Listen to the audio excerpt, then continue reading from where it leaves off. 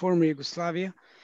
And uh, I came here to the States, to New York, uh, 27 years ago, toward the end of the war in Bosnia. Um, and I came as a refugee. My wife and I were uh, resettled as a priority case. We were on the list to be killed, and uh, we uh, got to the States uh, with a six week year old son. And we needed to get our uh, feet on the ground immediately and, you know, land running because the system here doesn't really provide that much help. I mean, I was actually very grateful that I had a job in IRC because after I was demobilized from the Bosnian army, I actually started working for a company called International Rescue Committee, IRC. And my boss was Maria's husband. Um, he was a country director, legendary John Fawcett, and Maria was legendary there as well, and operated in very hard, uh, dangerous post in Sarajevo. And um, basically they helped me get the job in IRC um, in New York upon my arrival to the States. Uh, I left the, the, environment of Bosnian work where I was the head of office of Mostar, you know, very rather senior rank and very big budget to work from in really hard conditions. And I came to New York suddenly, uh, the lowest possible rank that exists in IRC was the one to which I was placed. And uh, my age group was older than the people who would belong to that group. So it, it felt a little bit mismatched. And, uh, but there is no way around that. You need to prove yourself when you're here. So I really worked hard and, you know, tried to be involved. And when there is something that maybe some other people wouldn't connect, I would try to make a connection just in order to to build uh, my presence there. Uh, I would say that they, and and you know, in in a while, it took a few years before I started moving up, uh, but it took a few years of really hard work, and then when it's once it started, uh, uh, once the things opened up, then they open up a little bit faster than originally. So uh, it's worth the effort. It's worth the the, the trouble. Um, one of the main obstacles I, I faced was there were cultural differences. Even though I studied linguistics, that's my field is Arabic and English studies. So I knew American culture very well before I even got here. Actually, that's what I was studying on my uh, master's degree. Uh, uh, it's American studies. Even though I knew the country and knew the culture, still there was a bit of a cultural shock when I arrived. And it usually um, almost never works in your advantage. It almost always works to your disadvantage. And you know, I tried to to uh, make the difference between the typical American and myself work for me by every now and then providing a picturesque uh, saying that comes from my country that applies to a certain situation very well, but to apply the approach to work American one, the one that will be easily understood and accepted by my environment. Uh, so I would say that there are some do's and don'ts when it comes to any mixture of cultures. Uh, we all have to understand that this is the country that became our new home.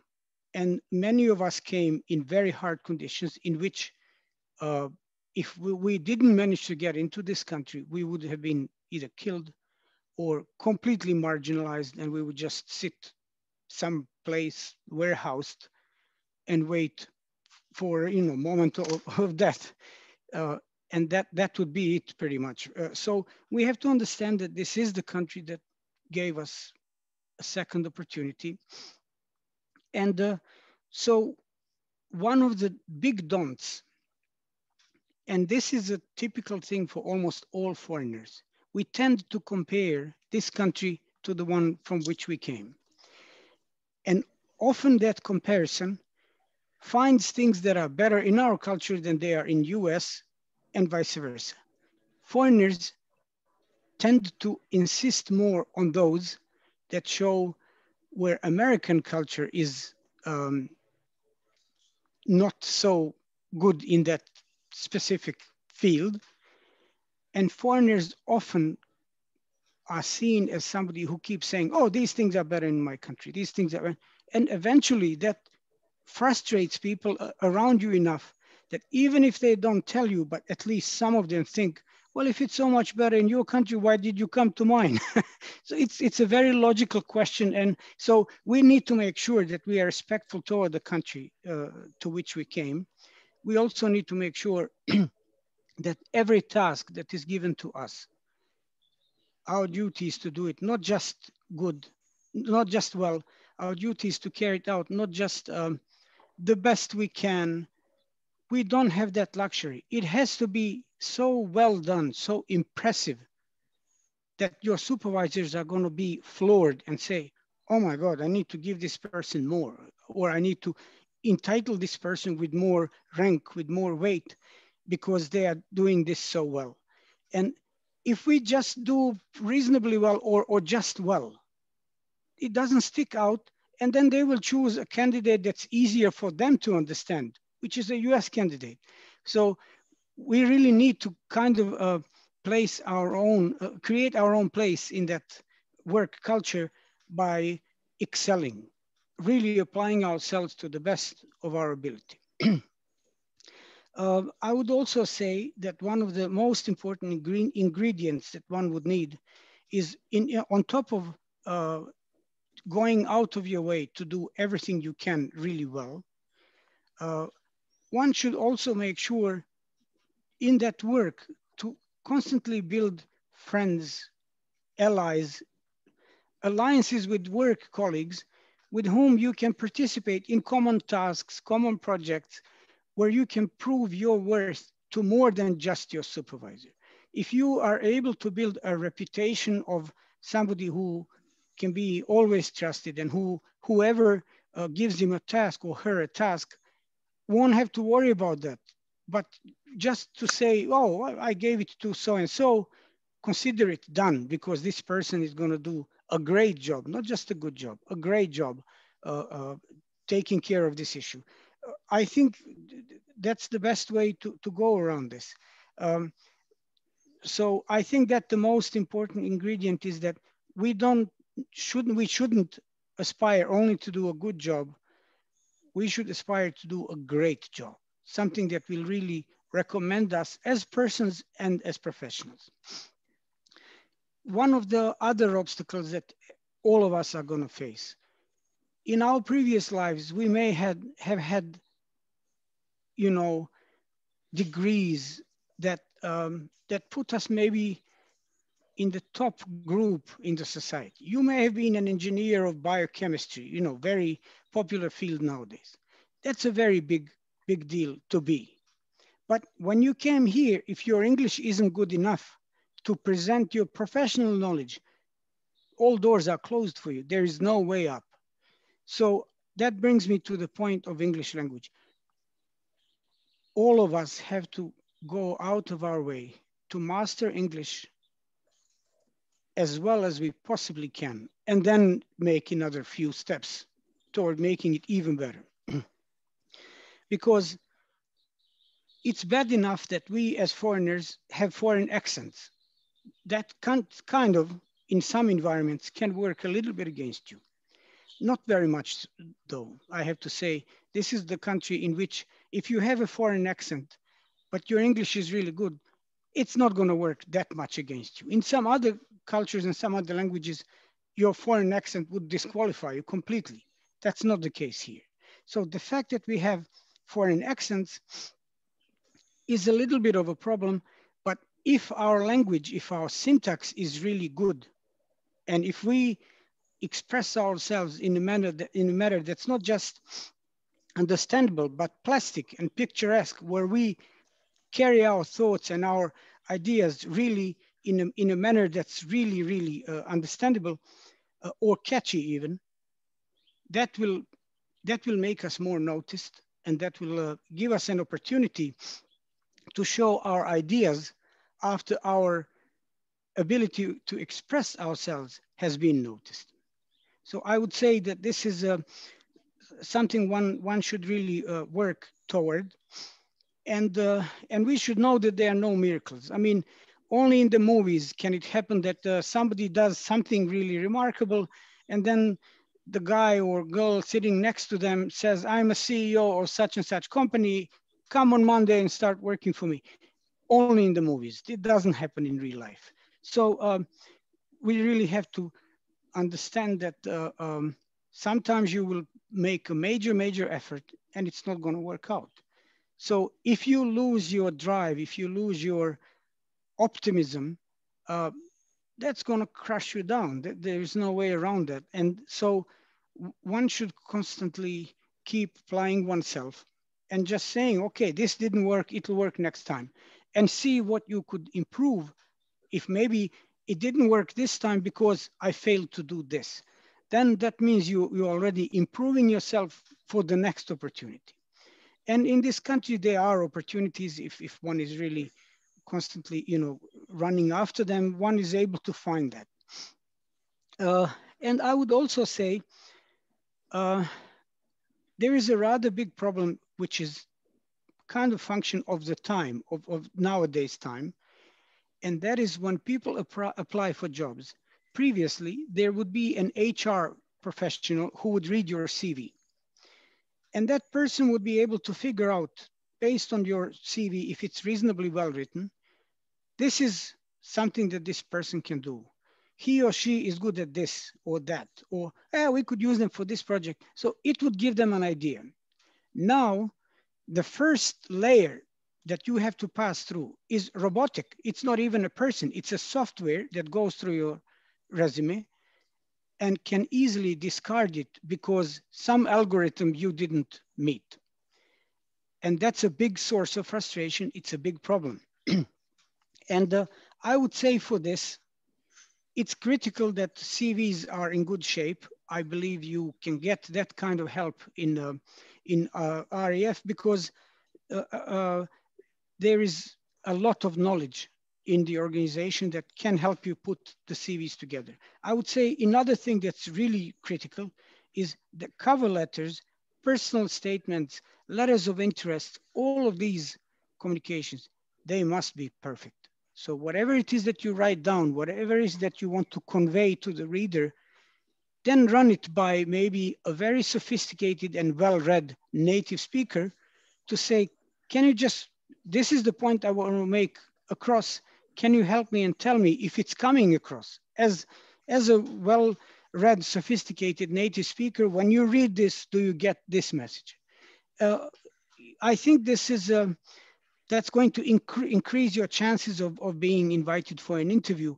And in an interview, there, there is no reason to be shy there. You can make a mistake in, in an interview. That's not a big deal. Once you got in, you are actually then presenting your enthusiasm, your actual wish to do a good job and your ideas and, and the richness of your personality. So then these things actually do work for you. All the experiences that we have, that we gained often through painful processes uh, coming here at, in the moment of interview actually work for us because then you stand out. You stand out as somebody who has true history to offer, uh, true life experience to offer, which every project manager wants to find. And I think this um, uh, getting into an interview is way more than half the job done, half of the uh, acceptance. Uh, the biggest obstacle for us is getting through to the point of an interview. So this, for this, I would say cover letters, personal statements, letter of interest, they must be perfect.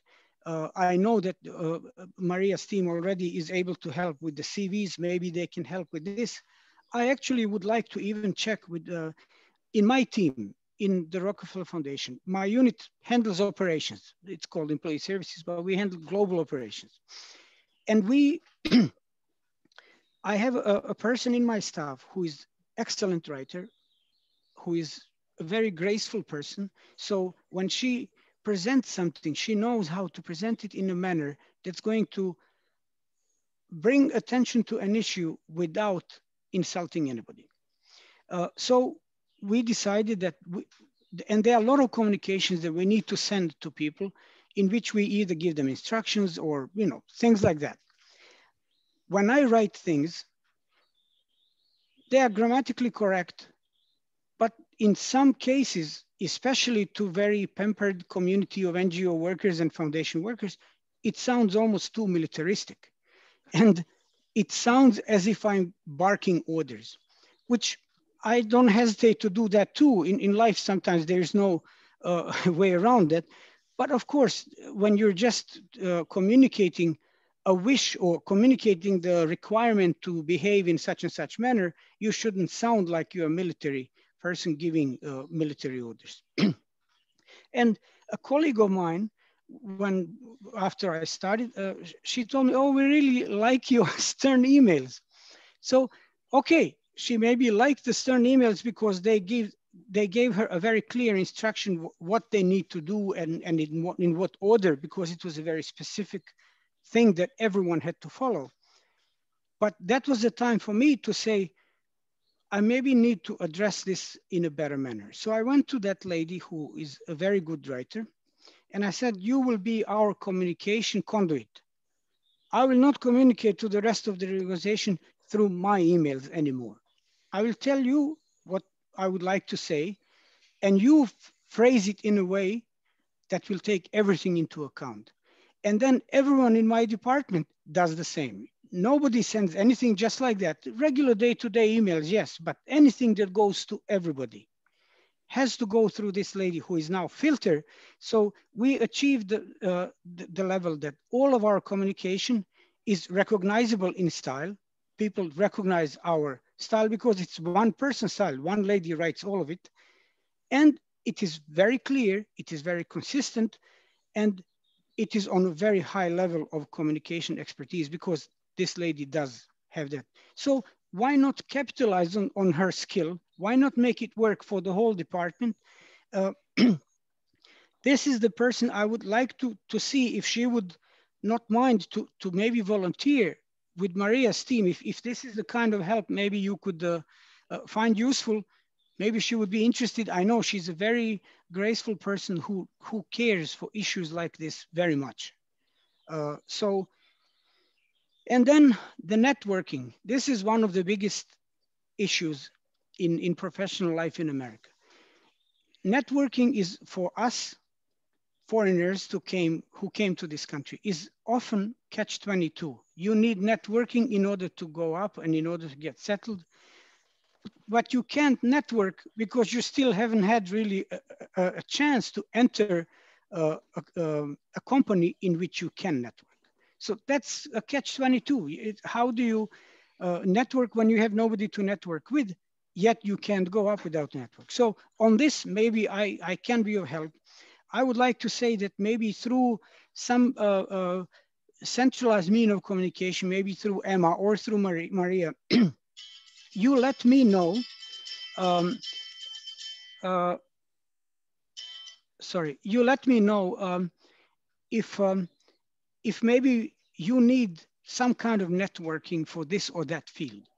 And I would go um, to a lot of my colleagues who, who really come from all walks of life, uh, just even within my current employer, which is uh, the Rockefeller Foundation, but I can go to all my previous employers, which is two more rather big companies in the States. And, uh, and I would see if there is a way to connect the right person to the right person. So at least to provide that little bit of a push toward networking if it can be of any help. So I'll be very happy to do that. Uh, this is just in addition to, you know, I don't want to just philosophize to you, but I want to offer something concrete. And I believe this is concrete. If there is a way and somebody is an expert in such and such field, I will gladly connect you to another expert in the field to see if they can do something for you or they can meet with you and provide um, provide some kind of help uh, in, in your career. And when that's... I may interject, Semir. Yes, please. Thank you so much for these these um, both points and opportunities. Um, I think we we all appreciate what you point out about it's different as have, having someone say like this is how to do it, and then having someone say I have a concrete way I can help you do that. Um, if if we could um, open up to questions and let the conversation flow from there, um, I am gonna stop